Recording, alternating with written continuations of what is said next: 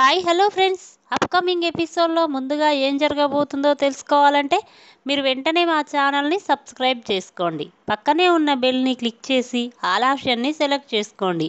మీరు ఇలా చేయడం ద్వారా నేను ఏ వీడియో పెట్టినా అందరికంటే ముందుగా మీ దాకా చేరుతాయి.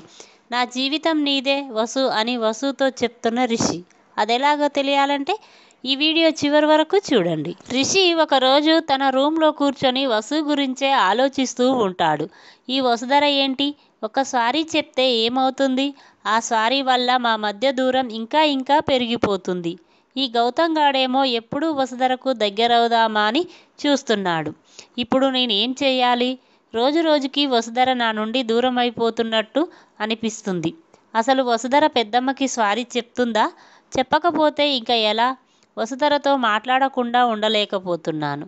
తలుచుకుంటేనే భయమేస్తుంది అని రిషి చాలా బాధపడుతూ ఉంటాడు. ఇక ఇది ఇలా ఉండగా వసు కూడా రిషి గురించే ఆలోచిస్తూ ఉంటుంది. ఏంటి రిషి సార్?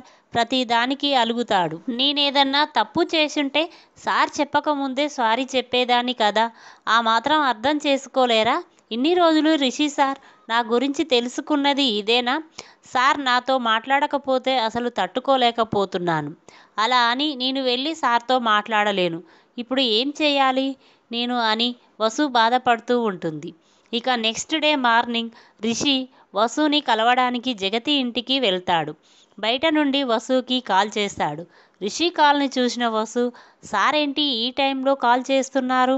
అని కాల్ లిఫ్ట్ చేసి హలో అని అంటుంది. అప్పుడు రిషి వసుధర రెడీ అయ్యుండు. నా కారులో వెళ్దాం కాలేజీకి అంటాడు. అది విన్న వసు మీరు ఎక్కడున్నారు సార్? అంటుంది.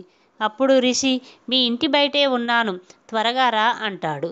ఇక వసు జగతితో మేడం రిషి సార్ నన్ను తన కారులో కాలేజీకి రమ్మంటున్నారని నేను వెళ్తున్నాను మేడం అని చెప్పి రిషితో కారులో బయలుదేరుతుంది. ఇక ఇద్దరు కూడా అలా వెళ్తూ సైలెంట్గా ఉంటారు. ఇక వసు మనసులో ఏంటి రిషి సార్ ఏం మాట్లాడడం లేదు? కాలేజీకి రమ్మన్నారు. మాట్లాడితే ఏంటి? అంటుంది.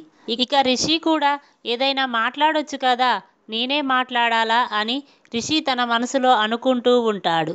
ఇక అలా వెళ్తూ రిషి కార్ని ఓ చోట స్టాప్ చేస్తాడు. అది చూసి వసు ఏంటి సార్ కార్ ఆపారు? ఎందుకు? అంటుంది. అప్పుడు రిషి వసుధర నీతో ఒకటి చెప్పాలి అని అంటాడు. అది విన్న వసు ఏంటి సార్? అంటుంది. అప్పుడు రిషి వసుధర నీతో మాట్లాడకుండా ఉండలేకపోతున్నాను. ఎందుకలా? అనిపిస్తుందో నీకు అర్థం కావడం లేదా? కానీ ఒకటి మాత్రం నిజం. వసు నువ్వు లేకుండా నేను ఉండలేను. నువ్వు దూరమైతే తట్టుకోలేను. అంతలా మార్చేశావు నువ్వు. ఈ నా జీవితం నీదే వసుధర అని రిషి అంటాడు. ఇక వసుకి ఏమీ అర్థం కాక అలానే చూస్తూ ఉండిపోతుంది.